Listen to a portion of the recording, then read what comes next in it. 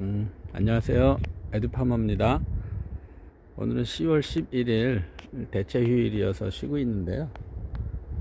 어제 아무래도 갈 때 보니까 물음병이 초기 증상을 보이는 게 많이 있어서 아, 밤에 잠도 제대로 못 잤습니다. 그래서 오늘 아침에 이제 비가 그치고 부랴부랴 아, 물음병 방제를 하려고 나왔습니다. 아, 저는 뭐 모두싹하고 루트칼만 몇번 연면시비 해주면 올해 어, 김장 농사는 되겠다 이런 생각을 했는데 뭐 비가 이렇게 와가지고 또 힘들게 하네요. 지금도 조금씩 빗방울이 떨어지고 있어요.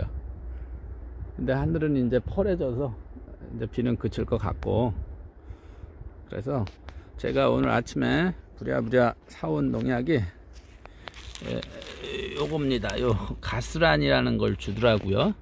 요게 물음병에 배추 예, 하는 약인데 여기 보면은 마늘 배추 물음병 발병 직전부터 7일 간격으로 어, 물 20리터에 20g 그래서 요 어, 20g이 그 빨간 수저로 이제 두, 두 수저를 줘라 이제 이렇게 안내를 하더라고요.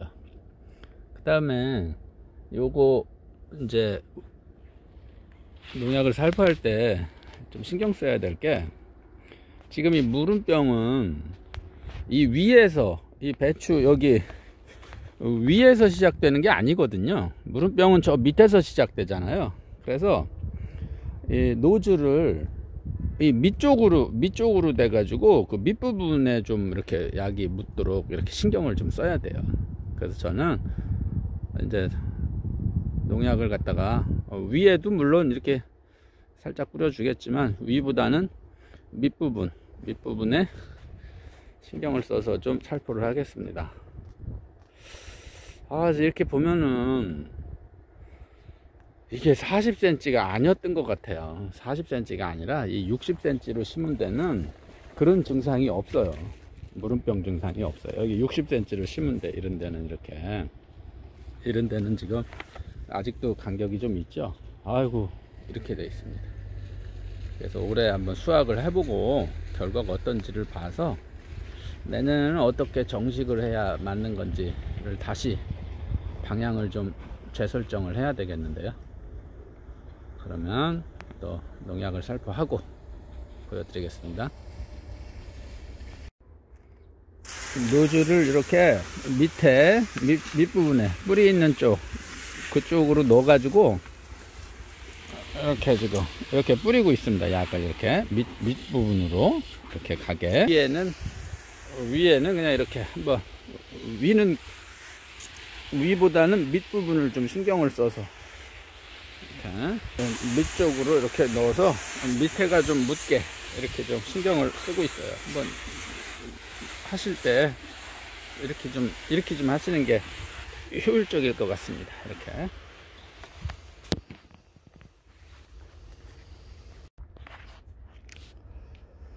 아 이제 또 햇볕이 또 이렇게 쨍쨍 나네요.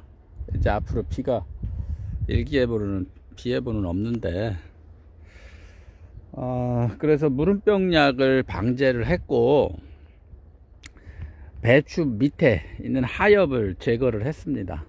보니까 이게 이게 비닐 멀칭이 돼 있고 그 위에 이제 배추 이파리가 딱 붙어 있어요 이렇게.